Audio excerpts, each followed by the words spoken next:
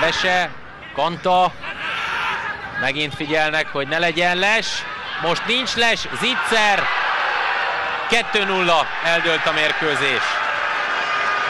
Azt akartam figyel, mondani az imént, hogy a diózsőriek próbálnak arra figyelni, hogy lesre állítsanak, de most az MTK-sok is nagyon figyeltek, ezúttal nem volt les, és Kanta remek ívelése után Balajti góljával 2-0-ra vezet az MTK, és azt hiszem, hogy nem kockáztatok sokat akkor. Na nézzük, ez most, ez is jó ítélet, így pontos a megfogalmazás.